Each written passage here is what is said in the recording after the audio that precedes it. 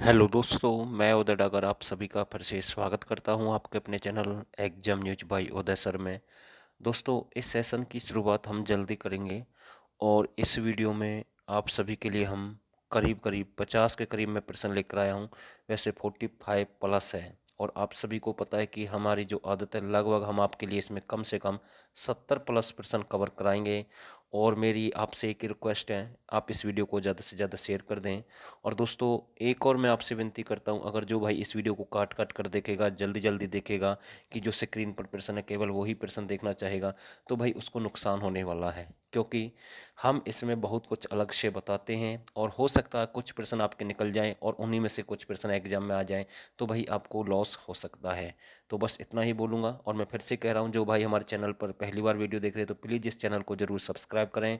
और हम डेली आपके लिए वीडियो लेकर आ रहे हैं। जिस भाई ने हमारी लास्ट वीडियो नहीं देखे हैं तो वो भी एक बार ज़रूर चेकआउट कर लें। हम इनकी प्ले बनाने वाले हैं, वहाँ से आपको सारी वीडियो मिल जाएँगी। तो मेरा पहला प्रश्न आप सभी के लिए तो हरियाणा में प्राकृतिक चिकित्सा केंद्र कहाँ पर है? तो प्रश्न आ जाए, हरियाणा में प्राकृतिक जो चिकित्सा केंद्र है, वो कहाँ पर है? तो इसका जो राइट आंसर है पंचकुला में तो आपका ये कहाँ पर है? पंचकुला के अंदर है। कौन सा? प्राकृतिक चिकित्सा केंद्र। नेक्स्ट प्रश्न देखते हैं। गिद्ध प्रजनन केंद्र की स्थापना कब की गई? देखो, ये भी आपका वहीं है, गिद्ध प्रजनन केंद्र। और इसकी स्थापना कब की गई? तो इसका जो राइट आंसर है 2006 में। कब इसकी स्थापना की गई? 2006 में इसकी स्थापना की गई है। अगला प्रश्न देखते हैं। गिर। देखो, गिद्ध और गिर, इन दोनों में अंतर है डिफरेंस है। दोनों अलग अलग प्रश्न है। मैं फिर से कह रहा हूँ और भाई मैंने लास्ट वीडियो में एक प्रश्न कराया था, गुजरी महल से संबंधित, वो प्रश्न मेरे से गलत हो गया था। उसका जो राइट आंसर है, तेरह सौ चौवन है तो एक बार ज़रूर चेकआउट कर लेना। तो उसके बारे में मैंने जानकारी दी थी और जो गलती हमसे होती है, हम उसे एक्सेप्ट करते हैं, इसलिए हम आपसे माफ़ी भी चाहते हैं। और दोस्तों, अगला प्रश्न देखते हैं, गिर परिजन केंद्र कहाँ पर है? तो गिर परिजन केंद्र आपका कहाँ पर है? तो ये भी आपका पंचकुला में है। और सॉरी, गिर प्रजनन केंद्र है। तो ये आपका कहाँ पर है? पंचकुला में और गिर प्रजनन केंद्र की स्थापना कब की गई? तो उन्नीस सौ बानवे, तिरानवे में। अब मुझे यहाँ से एक प्रश्न ध्यान आ रहा है आप सभी के लिए। तो वो मैं आपको बताना चाहता हूँ। एक आमों का मेला लगता है। किसका? आमों का मेला लगता है। तो ये आपका पिंजोर, पंचकुला में लगता है। तो वहीं से रिलेटेड मैं आपको करा रहा हूँ। तो ये इक्यानवे, बानवे में स्टार्ट हुआ था। तो ध्यान देना है। अगला प्रश्न देखते हैं। पंचकुला शब्द किस भाषा का प्राकृतिक, जो प्राकृतिक शब्द है? तो यहाँ से प्रश्न बन सकता है, पंचकुला शब्द किस भाषा का प्राकृतिक शब्द है? तो इसका जो राइट आंसर है, ये आपका संस्कृत भाषा का शब्द है। किसका है? संस्कृत भाषा का शब्द है। और देखो, हम यहाँ पर आपके लिए अलग अलग प्रश्न लेकर आते हैं सीरीज़ लेकर आते हैं, चालीस प्रश्न, पचास प्रश्न, बीस प्रश्न, तीस प्रश्न, ऐसे प्रश्न लेकर आते हैं। लेकिन जो भाई अच्छे से हरियन जी की तैयारी करना चाहता है तो भाई वो मौके को ना निकाले। हो सकता है कि ये भर्तियाँ आ रही हैं, इसके बाद फिर भर्ती ना निकले, आपकी भी उम्र निकल सकती है, आपको भी मौके नहीं मिलेंगे बार बार तैयारी करने के। क्यों ना आप एक बार अच्छे से तैयारी कर लें और उसी में आपका सिलेक्शन हो जाए। तो एक सौ निन्यानवे रुपये का हमारा हरियाणा जीके का पेड बैच है आप वो ज़रूर ज्वाइन कर लें। जिस भाई को लगता है कि मैं एक सौ निन्यानवे रुपये खर्च कर सकता हूँ, ये ज़्यादा नहीं है। एक सौ निन्यानवे रुपये आप कहीं भी खर्च कर सकते हैं। खाने पीने में खर्च हो जाते हैं, कहीं आने जाने में खर्च हो जाते हैं। और भाई यहीं, यहाँ तो आपको नौकरी मिल रही है, एक सौ निन्यानवे रुपये से। तो भाई, ये मौका हाथ से ना निकालें, अच्छे से एक बार ज़रूर ज्वाइन कर लें और वही लेवल है जहाँ से एचएससी पूछता है। बिल्कुल अलग लेवल है। मैं इतना भी दावे के साथ और विश्वास के साथ गारंटी के साथ कह सकता हूँ कि ऐसे प्रश्न आपको किसी चैनल या बुक पर नहीं मिलेंगे जो हमने अपने पेड बैच में कवर कराए हैं। वही प्रश्न है जो एच बार बार पूछता है और अच्छे लेवल के जो प्रश्न आते हैं, आप दूसरे कैंडिडेट से प्लस हो सकते हैं। अगला प्रश्न देखते हैं, पंचकुला का शाब्दिक अर्थ क्या है? पाँच नहरों का शहर। तो पंचकुला का जो शाब्दिक अर्थ अगर हम देखते हैं तो इसका जो राइट आंसर है, पाँच नहरों का शहर। तो ये बात आपको ध्यान रखनी है और संस्कृत भाषा से रिलेटेड शब्द है। एक प्रश्न पूछा था एचएससी ने कि हरियाणा का हरियाणा का एक केंद्र शासित प्रदेश है चंडीगढ़, बिल्कुल। और उसका एक उपग्रह है हरियाणा का कौन सा ज़िला? तो इसका जो राइट था आंसर पंचकुला को उपग्रह माना गया था। तो भाई एक लुप्त ज्वालामुखी भी पूछा था, जो प्राचीन समय का जो विलुप्त ज्वालामुखी केंद्र कौन सी पहाड़ी थी? अराब, जो आपकी थी, अरावली पहाड़ी, यानी अरावली पहाड़ी में एक ढोसी की पहाड़ी है, उसे माना गया विलुप्त ज्वालामुखी। तो ये प्रश्न भी एच ने पूछा था। तो हम ध्यान देते हैं जो प्रश्न पूछे गए हैं या फिर आ सकते हैं, बहुत कुछ अलग से कराते हैं। और यहाँ तो हम दस, बीस, पचास, चालीस जो प्रश्न आते हैं, ऐसे आपके लिए लेकर आते हैं। लेकिन वहाँ पर टॉपिक के हिसाब से आपको पूरी हरियाणा जी के कंप्लीट मिलेगी, बहुत ही अच्छे लेवल के साथ मिलेगी।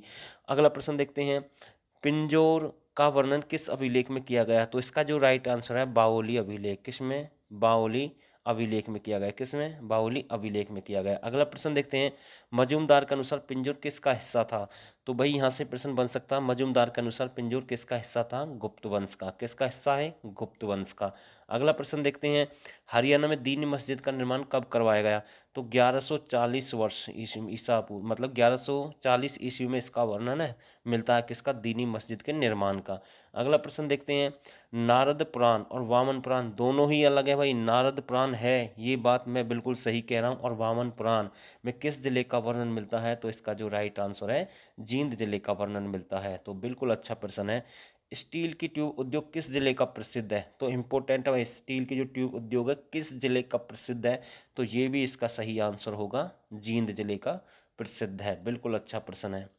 महाभारत काल का प्रसिद्ध गोविंद कुंड हरियाणा के किस ज़िले में है? तो महाभारत कालीन है जो गोविंद कुंड है, वो हरियाणा के किस ज़िले में है? तो ये भी आपका जींद ज़िले में है। कहाँ पर मिलेगा आपको? जींद ज़िले में मिलेगा। तो अच्छे लेवल की तैयारी करें। घिसा पिटा पढ़ने से कोई फ़ायदा नहीं। अगला प्रश्न देखते हैं, हरियाणा के किस किले किस किले में सात तालाब और आठ दरवाजे हैं?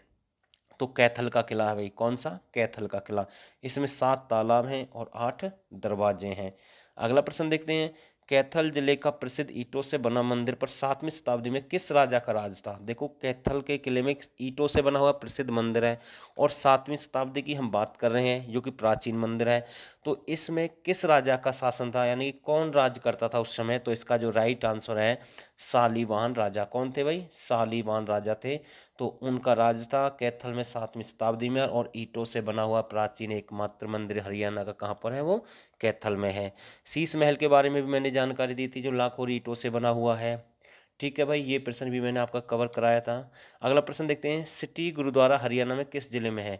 सिटी गुरुद्वारा हरियाणा में किस ज़िले में है? तो एक गुरुद्वारा सिटी के नाम से तो इसका जो राइट आंसर है, कैथल में तो ये आपका कहाँ पर है? कैथल में। एक प्रश्न और बताया था मैंने, शीशगंज गुरुद्वारा। तो ये आपका कहाँ पर था? अम्बाला में। तो भाई, ध्यान देना है, अच्छे से तैयारी करनी है। मौके बार बार नहीं मिलते मैं फिर से यही बोल रहा हूँ, एक बार अच्छे से पढ़ ले तो अच्छा है, नौकरी लग जाएगी। और आप ज़िंदगी भर कमा सकते हैं। अगला प्रश्न देखते हैं, हरियाणा का प्रसिद्ध बाबा नारायण दास मंदिर कहाँ पर है? हरियाणा का प्रसिद्ध बाबा नारायण दास मंदिर कहाँ पर है? तो ये भी आपका कहाँ पर है? कैथल में। कहाँ पर है? कैथल में। देखो, एक रावण नगरी के नाम से जानते थे प्राचीन समय में किसको कैथल को, क्योंकि रावण का बचपन यहीं पर बीता था तो ये प्रश्न भी आ सकता है। और मैं आपको बताना चाहता हूँ तो बहुत ही प्रश्न ऐसे हैं जो कैथल से रिलेटेड पूछे जाते हैं तो आपको एक बार ढंग से पढ़कर जाना है। अगला प्रश्न देखते हैं। पढ़कर जाना ढंग से, अगर बाई चांस मेरे से कोई बोलने में गलती हुई है तो फिर से मैं माफ़ी चाहता हूँ। अगला प्रश्न देखते हैं। पश्चिम भारत का कौन सा दैनिक समाचार पत्र अम्बाला से प्रकाशित होता है? तो इसका जो राइट आंसर है पंजाब केसरी, पश्चिम भारत का कौन सा दैनिक समाचार पत्र अम्बाला से प्रकाशित होता है? ये इम्पोर्टेंट प्रश्न है भाई। तो इसका जो राइट आंसर है, पंजाब केसरी। कौन सा पंजाब केसरी। हरियाणा का प्रसिद्ध पटेल पार्क किस ज़िले में है? तो भाई, हरियाणा का प्रसिद्ध एक पटेल पार्क है, वो किस ज़िले में है? तो इसका भी आंसर क्या होगा? अम्बाला और आप बार बार डिमांड करते कि सर इसकी पीडीएफ हमें दे दें तो भाई पीडीएफ आपको पेड ग्रुप में मिल जाएगी। जिस भाई को चाहिए तो वो ज्वाइन कर सकता है, सभी की पीडीएफ मिलेगी। अगला प्रश्न देखते हैं, और एक और बात मैं आपको बता रहा हूँ, आप यहाँ से प्रश्न देख रहे हैं, आप यहाँ से प्रश्न नोट कर रहे हैं, आप यहाँ से लिख रहे हैं, मेहनत हो रही है आपका, समय बर्बाद हो रहा है लिखने के लिए, क्योंकि आप बार बार वीडियो नहीं देख सकते तो भाई या तो आप स्क्रीन लेंगे, फिर प्रश्न देखेंगे तो भाई, कब तक स्क्रीनशॉट अपने पास रखेंगे? इससे अच्छा है कि एक बार पेड बैच ज्वाइन कर लें। लिखने की जो झंझट है, उससे भी समाप्त हो जाएगा सब कुछ। पीडीएफ मिलेगी सीधी। आप आराम से वहाँ पर पढ़ सकते हैं। अगला प्रश्न देखते हैं। हरियाणा का प्रसिद्ध सुभाष चंद्र पार्क किस ज़िले का प्रसिद्ध है? तो इसका जो राइट आंसर है अम्बाला ज़िले का। कहाँ का प्रसिद्ध है सुभाष चंद्र पार्क? अम्बाला ज़िले का प्रसिद्ध है। अगला प्रश्न देखते हैं। अगला प्रश्न सॉरी थोड़ा सा धैर्य बनाए रखें। नौरंगिया तालाब किस ज़िले का प्रसिद्ध है? तो भाई ये आपका प्रसिद्ध है अम्बाला का। कहाँ का प्रसिद्ध है ये? अम्बाला का। अगला प्रश्न देखते हैं।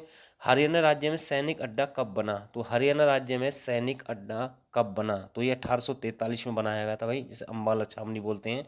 तो इसका जो राइट आंसर है अम्बाला नाथुराम गोडसे को कब फांसी दी गई? तो पंद्रह अगस्त उन्नीस सौ उनचास को नाथुराम गोडसे को फांसी दे गई, यानी कि फांसी दे दी गई तो ये प्रश्न भी एग्ज़ाम में पूछा जा सकता है। अगला प्रश्न देखते हैं।